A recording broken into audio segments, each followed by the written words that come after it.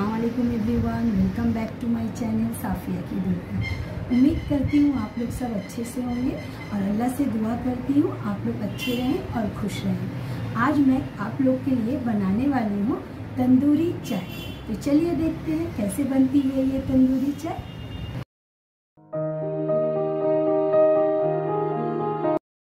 ये तंदूरी चाय बनाने के लिए सबसे पहले मैं गैस ऑन करती हूँ और दूध डालती हूँ।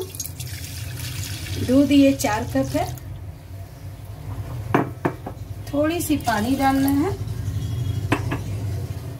दूध को हमने फूटने दे दिया है। अब ये देख रहे हैं, ये थोड़ी सी अदरक है और चार दान, पाँच दाना इलायची है, छोटी इलायची। अब इसको हम, ये हम बिस्तर में क्रश कर लेते हैं।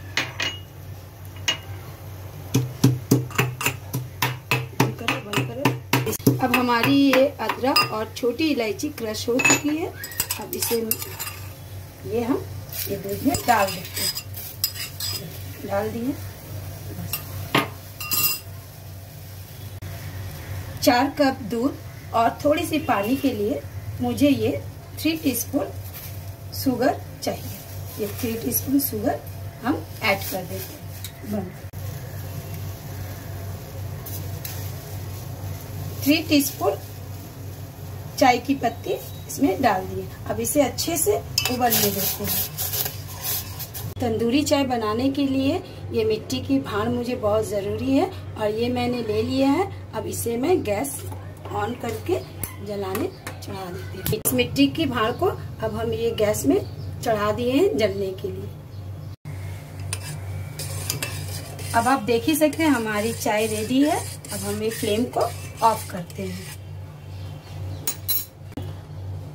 अब इस चाय को हम छाट लेते हैं।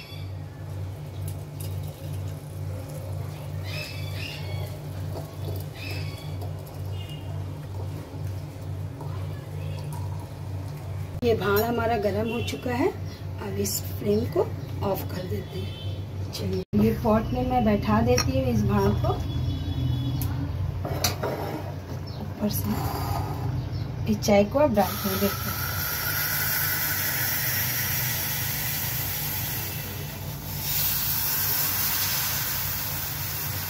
तंदूरी चाय रेडी है। हाँ आप लोग ज़रूर ट्राई कीजिए घर पे एक बार।